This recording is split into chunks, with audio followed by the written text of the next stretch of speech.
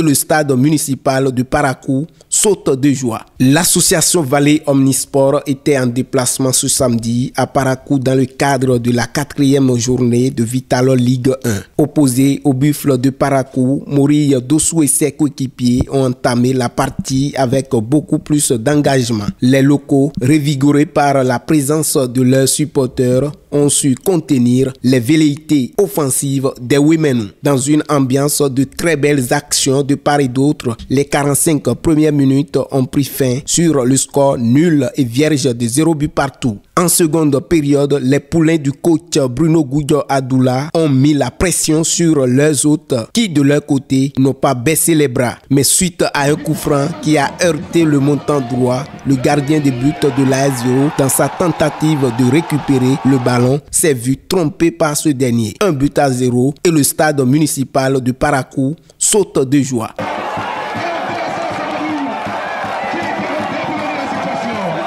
Décidés à rétablir la parité, les hommes du président Marcelin Bokover n'y parviendront pas jusqu'au coup de sifflet final de l'arbitre. Ils ont de très bons joueurs, ils jouent bien, ils ont un bon système de jeu qui est bon. Bon voilà, le football c'est la chance, la chance a souri aussi pour nous. On a, on a eu à marquer un but et voilà c'est fini. On a remporté un but à zéro, c'est ça? Je me suis rappelé après que l'entraîneur IBS, euh, quelqu'un que je connais, ça fait des années. C'est bien, l'équipe joue bien, l'équipe joue bien. Je crois qu'ils vont venir se balader, mais ils sont venus nous arracher les trois points. comme la logique a dicté sa loi, on a pris le devant puis c'est fini. Cette défaite sur le fil est à conjuguer au passé pour mieux rebondir les jours à venir. Quand on regarde le fond du jeu, je pense qu'on a quand même fait jeu égal avec les buffs.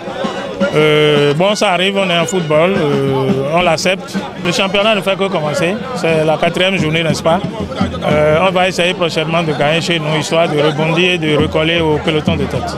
Quand je vois l'énergie dépensée par les poulains, on aurait pu avoir mieux que cette défaite. Et personne n'allait crier gars. même si on faisait en fait un match nul, ça aurait été très mérité. Il y a des choses qui arrivent et je crois que je dois pouvoir trouver les mots qu'il faut pour pouvoir en galvaniser les joueurs afin que hein, on, redouble d'efforts prochainement. Le week-end prochain, l'association Vallée Omnisport reçoit dans l'antre du stade municipal de Dangbo l'association sportive Wususaka de Porto Novo dans le cadre du cinquième acte de Vitalor Ligue 1.